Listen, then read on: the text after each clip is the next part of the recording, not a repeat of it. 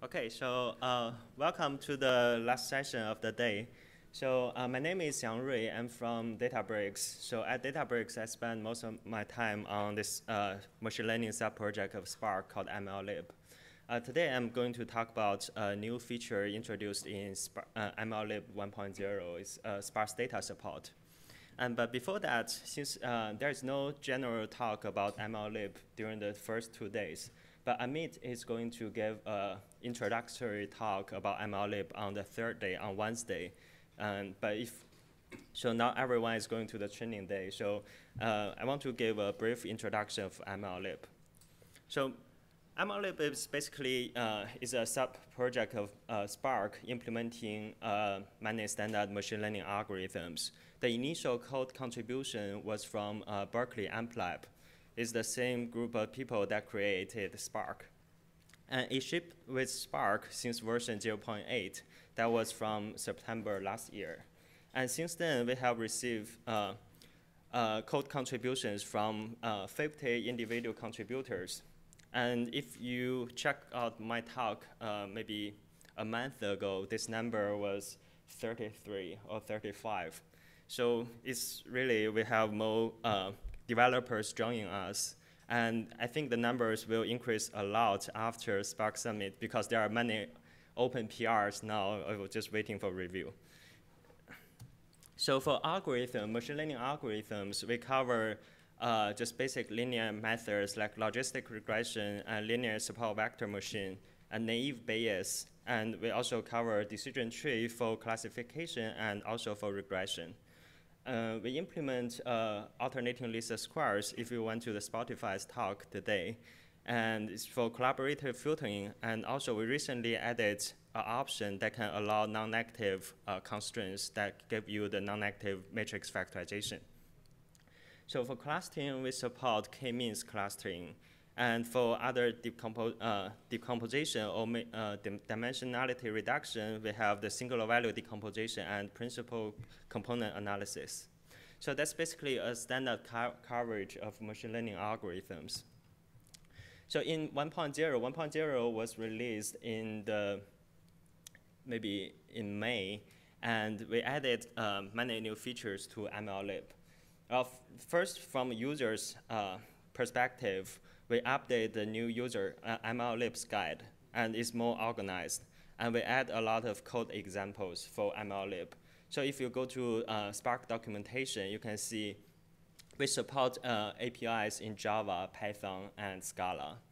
And we have the code tabs, and you can click Java, and you only see ex code examples in Java. And then if you switch to Python, everything is uh, just uh, tailored for Python users.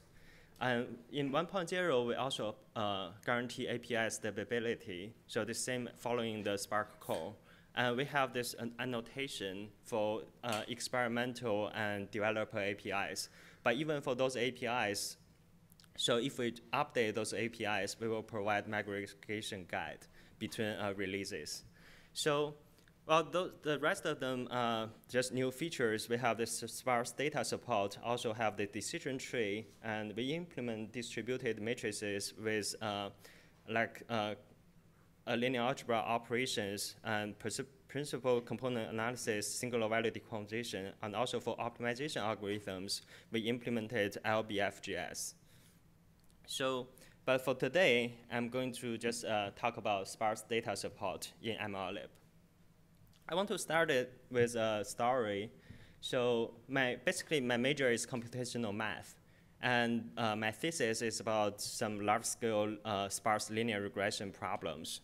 So I, once I wrote a, uh, the following sentence in, in a draft. So I said, uh, I want to really solve large-scale sparse linear least squares. But I sent it to my advisor, and he just uh, struck out the the word sparse. Uh, why? So he told me, well, large scale already implied uh, sparse, so you don't have to mention sparse twice. yeah, so basically, well, if I say everything that is large scale is also sparse, maybe that's a really bold statement. But really, this is true for the world of big data. So sparsity is really almost everywhere. So I can see uh, many sources that uh, can introduce sparsity into your data set. For example, if you want to do feature transformation, and you may want to map uh, numerical features into categorical features, or you may want, want to map categorical features to numerical ones. And then you do all kinds of transformation, interaction, bucketing, and if you want to process text, you want to work with uh, words and n-grams, bigrams, trigrams, and then they increase the feature dimension by a lot. And also, so for, for example, for the recommendation, you're working on a huge rating matrix, millions by millions. And then also for other stuff, you also have, you can exploit the low rank structure, right? So essentially those are all can contribute to sparsity. So for example, I take one example here. I have this uh, one-hot encoding. It's a very standard feature transformation. You want to map, map a categorical feature into numerical. For example, we have a feature called country. And we have uh, Germany, Brazil, Argentina. And so one way to map them in is just to assign an index, right? So we map uh, Germany to zero and Brazil to one. Well, then the question is whether we can use it in a linear method. Right? Linear method means uh, some well linear combination of if this is a fe single feature, after we train the model, we get a a numerical value indicate the coefficient. What does it mean if the coefficient is 0.5, right? So is it, and what's, what's the meaning of 0.5 uh, multiplied by 1 by Brazil or multiplied by 2? So it does, so you still need to treat it as a numerical feature. That means it doesn't apply to linear method like logistic regression or linear SVM. So the right way to do that is called this one-hot encoding basically for uh, consider um, you have 10 categor categories, and then you map each uh, feature value into a vector of size 10. And only one value is 1, and all the others are zeros.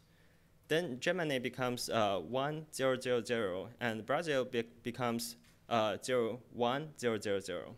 So in this way, uh, you map a categorical feature into a set of binary features. Then you can use linear method uh, to train this model and get some meaningful result. Uh, but look at the data now, so it contains a lot of zeros. The density is uh, the number of non-zero elements divided by the total element is one over the number of categories. So it's very sparse if you have, uh, well, many categories. So then the next thing is uh, bucketing. So maybe you want to convert a numerical feature to categorical features. For example, we want to work on the time of the day, and we want to predict some activity, frequency of some activities. And we can use the second of the day. But, well, if I apply a linear method, I assume that it has a linear effect on the, on the value of this feature. But actually, no, right? People has a very high activity, maybe well, 9 a.m. or maybe after lunch, 2 p.m. So you really want to just transform them into categorical features, like the hour of the day. You create, uh, you create buckets, right? So map each uh, time, uh, a single time into those buckets, this hour of day, you have 24 buckets. But now after you have done this mapping, and it becomes sparse. And the density is the one over the number of buckets now. So it's, this is where sparsity comes from. So also I can show you some real uh, world data sets. The first one is Netflix Prize. It's uh, close to a half million users and 20,000 movies. But the number of observed ratings is just uh, 100 million. So the density is just a little bit over 1%. Also, we have this uh, is a standard uh, training, training data set for, called RCV1. And the number of examples is, again, more than half a million. And number of features is about 50,000. The density is even lower. It's less than, it's less than 1%. And in this case, you need to really think serious about sparsity because if you use a dense format to store the training data set, it will be 270 gigs But if you use a sparse format, well, it's just a 600 megabytes. So I also want to view sparsity in a broader sense. Basically, I want to view the real world data set as either sparse or low rank and plus noise. So think about it, but you, maybe you think, I have a really dense data set, it's uh, all images. A dense image, well, it has an array of pixels, and for each pixel it has three colors, and you have a, a value between zero and uh, 255. So However, this image looks very dense. However, if you switch to the frequency domain, if you apply some wave wavelet transform or uh, cosine transforms, you will see the image is really sparse. And many coefficients are very small here, the magnitude of those coefficients. You can simply ignore them because they're just noise. So after you ignore, treat them as zeros, the image becomes very sparse. Also, for a huge rating matrix, so for Amazon rating, this is much uh, in a bigger scale than the Netflix rating. It's 6 million by uh, 2 million, 2.5 million. And if we want to make some prediction, do you want to really fill in this matrix? Uh, how much storage you need if you want to re really want to fill in this matrix? So you don't want to do that because you know while people's preference uh, fall into very limited categories, where I always look for some electronics. So other people look for some books, right? So based on those assumptions, and the rating matrix is approximately low rank. So you can, you can just represent the matrix by uh, two matrix factors, and then you can reduce the storage, and that's also a, one kind of sparsity. So um, so sparsity is almost everywhere. So as a user, machine learning user, you need to know how to recognize the sparsity in your data. And if you are a developer for MLlib, so you need to think about how to utilize the sparsity if the training data is indeed sparse. I, I will talk about those two. So in Spark 1.0, and we added uh, sparse data support in all the three APIs. And now we take advantage of sparsity in both storage and computation. In all the linear methods, naive Bayes, k-means, summary statistics, singular value decomposition, and before 1.0, we also support collaborative filtering is already sparse. The input is already in a sparse format. So before we add sparse, uh, sparse data support, we look over the linear uh, Java linear algebra packages that can support sparse linear algebra.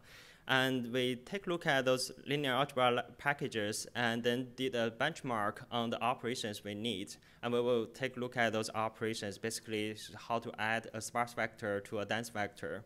And we did a small benchmark and we pick Breeze as our underlying implementation.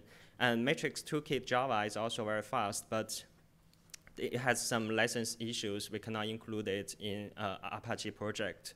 So we finally we choose Breeze for this. And the format we use is very simple. Basically, for sparse data, you just store uh, the non-zero elements. And it basically has three uh, members in uh, the data structure. One is the size of the vector, and the non-zero indices, and the non-zero values. And remember, the indices are always ordered. So that's the storage format we choose. And there are some alternatives, like you can use a hash map, or you can use uh, compressed storage. Well, those are not very efficient for numerical computation because usually we just need sequential access and in our machine learning algorithms. That's, this is the reason we choose this format. So for user, you only need to know how to create a sparse training data set or how to save and load uh, a sparse data set. So basically, for create a sparse vector, it's almost the same in all three uh, language APIs. You just call vectors.sparse, and with uh, the size of the vector, the index array, and the value array. This is same for all three uh, APIs. And then if you want to create a labeled point, a training example with a sparse feature vector, just call label point uh, with a label and the feature vector. And then you, maybe you want to save your training data set for future use. And you can, we support libsvm format. That's very standard for, well, machine learning for classification problems. And you can call this save as libsvm format. It will save the data into libsvm. And we also support in the coming 1.1 release, we will have uh, MLlibs format. It's uh, something like a JSON type format, uh, but it stores the information about the vector size. So that's different from the major difference from the libsvm format. It doesn't tell you the how, how many uh, the number of features in your data set. So for loading, it's very easy. Just load libsvm file or load label data. That's also available in 1.1. So the next thing I want to focus on how to implement machine learning algorithms that can take advantage of sparsity. Here is basically tell you, well, for most algorithms, the, the comp runtime complexity should be uh, proportional to the number of non-zeros in your data. And, and J means number of non-zeros. So the first example is, I show you, um, this is example basically from uh, Twitter data. And we have 12 million tweets. And about the feature set, the feature dimension is about 500. And the sparsity, uh, the density is about 10%. So if we store the data set uh, in dense format, it will be about uh, 50 gigs. And if in sparse format, it's just uh, 7 gigs. And the running time also, we have one, we receive about four times speed up. So it's uh, both storage and runtime uh, performance gain. So uh, how we can achieve that? So for k-means is very standard algorithm. The essential computation is just to compute the pairwise distance. To compute the pairwise distance of two vectors, you need to compare, you need to take the uh, uh, take the difference of individual com uh, components and then compute the sum of squares, right? So let's say even uh, here, the C vector is the, the current center, is average over a, a set of points. Basically, essentially, it will be a dense vector. But the input data point x here will be a sparse vector. So, but if you use this formu formulation to compute the distance, well, you still need to do a linear time on the feature dimension. It's not a linear, take linear time on the number of non-zeros. So However, if you look at play with this linear algebra and then so the the L2 distance can be expressed as the, the norm square of the sum of norm squares of those two vectors and minus the inner product of them, two time, times two. So now the question is, if we can pre-compute, so C is, uh, the number of clusters is small, and we can compute the, the norm of C. And the norm of X since x is immutable, x doesn't change, we can pre-compute the norm of x as well. Now it's the, the thing left is uh, just the inner product here. And take the inner product of a dense vector with a sparse vector, you only need a, the, a linear time on the number of uh, non-zeros in the sparse vector. So in this way, we can reduce the total running time from, uh, from a, a dense uh, from the linear time on the uh, feature dimension times number of uh, examples to the number of non-zeros. And also Spark pro, uh, give us the advantage of caching uh, those norms in memory. And you don't have to recompute it, and you don't have to alternate, alternate the existing data set to store the norms. So it's very efficient. And the next thing is uh, I want to talk about linear methods. So linear method essential computation is to compute the gradients and compute the sum of them, and then do the updates.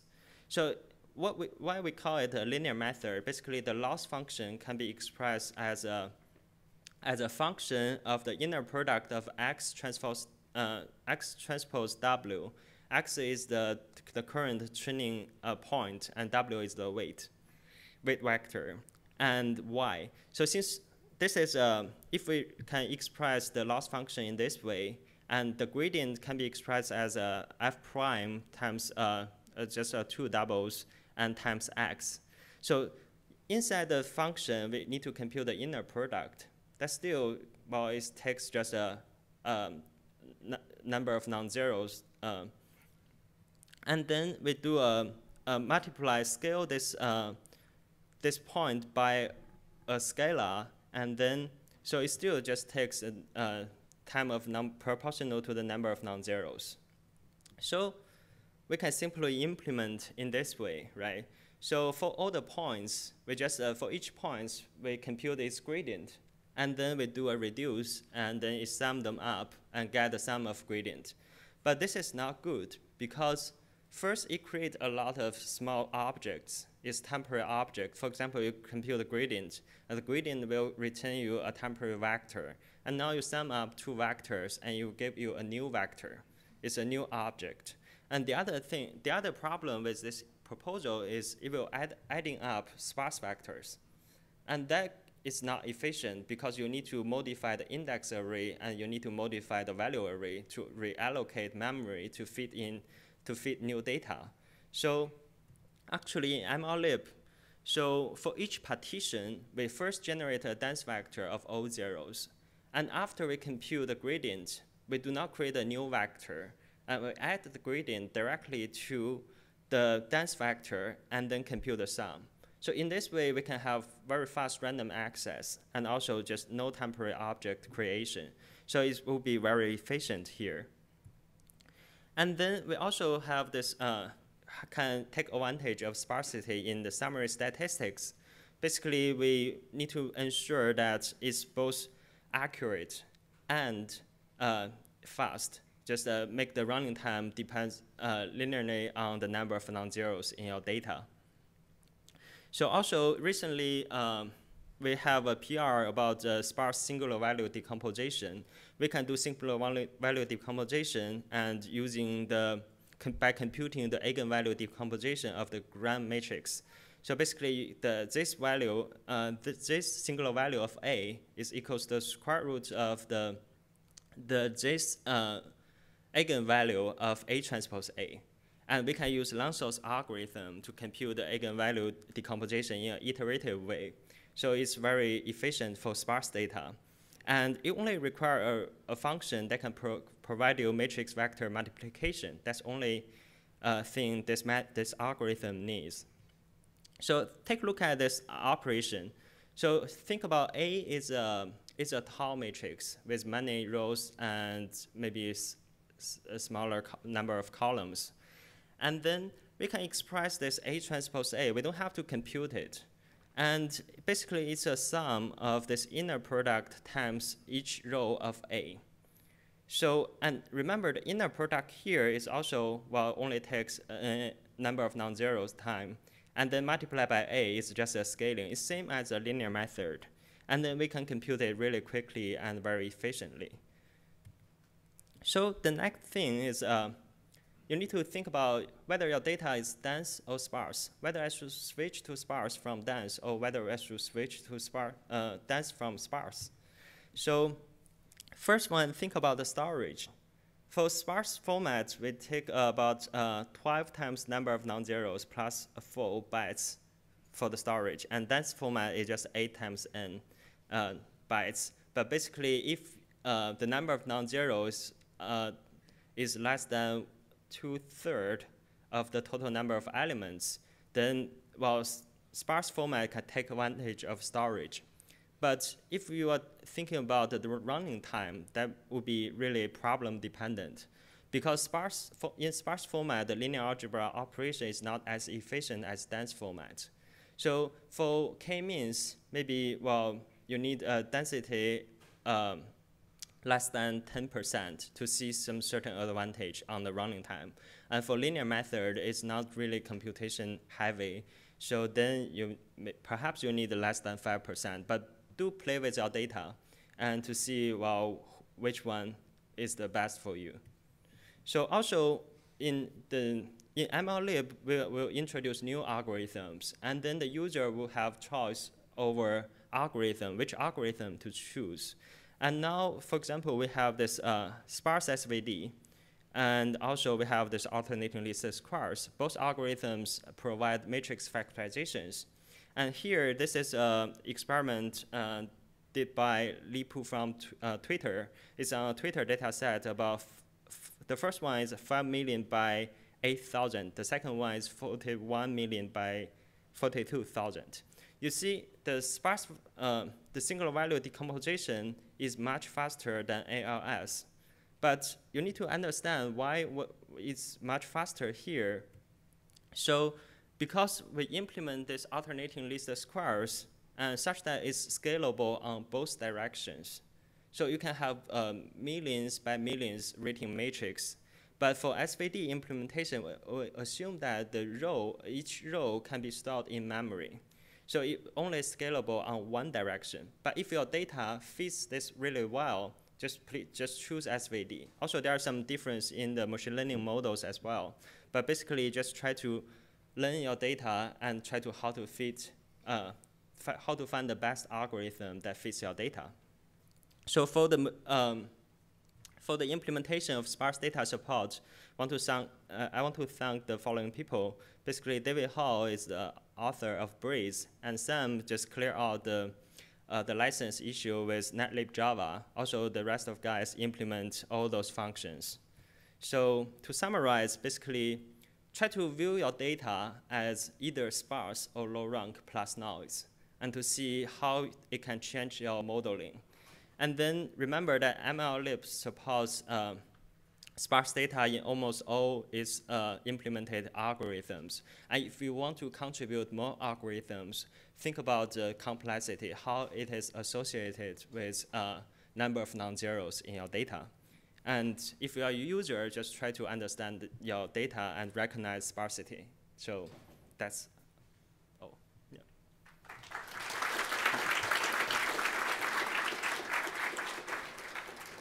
Questions? Yeah, so for a sparse matrix, do you, do you store the row vectors or the column vectors? So we will, uh, we will store the column vectors. That's the basically standard from very traditional Fortran and C libraries.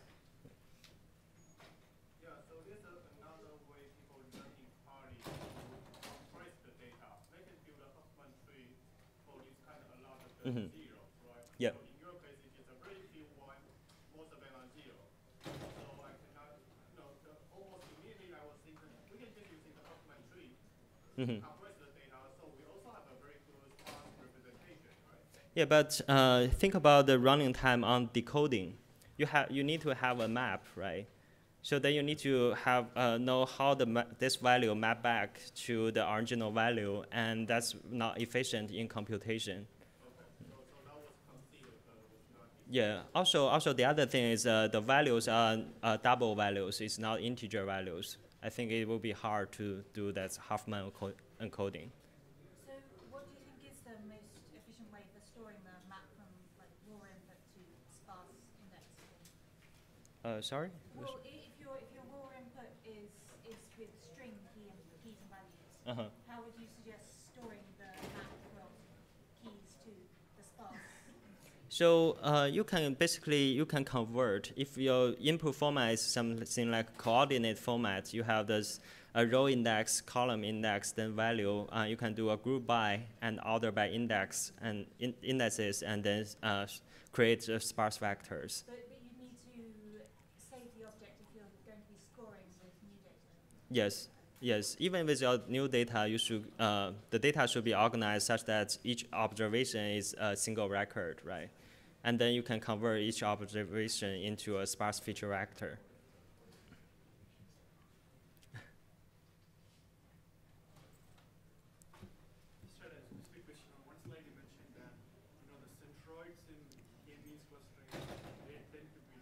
Yes. So uh, the centers are computed as the mean of the vectors that's most closest to this center. And think about if you take the mean of many points, and if a single vector contains a non-zero value on this, uh, on this feature index, then, well, it will be non-zero in the final average. So then, well, the cluster center is generally dense. Yeah. Um, so you mentioned uh, your SVD implementation uses like a level system. Yeah. Uh, and so in Mahout they use like a stochastic SVD. Yeah, stochastic SVD, um, SVD only guarantee approximation, And the approximation factor is basically k times log k. So it's hard for user to control and what's the accuracy they want. It's also a randomized algorithm. You cannot guarantee that you always get the right factorization. Well, it's a good model, but uh, we want to start from very basic. Yeah, so we provide exact computation of SVD. Would you get like possibly speed ups if you did implement that? or- So for that one, so we really need to uh, create a matrix that uh, can be scalable on both dimensions, and then the SVD uh, really makes sense. Yeah, otherwise it's not that useful, I think. Yeah. No questions? Uh, Do you also provide some basic uh, operation on metrics, like inverse metrics or? Mm, right now, all the linear algebra support on a single machine is provided by Breeze. And Breeze underlying the underlying package is Netlib Java, and it's a, basically a Java wrapper over LAPACK and BLAS. And you can call the uh, Netlib Java's implementation of uh, matrix inverse or solve a linear linear system. So it only works on single machine, is that? Yeah, yeah. Right now, we don't provide a compute inverse of very big matrices.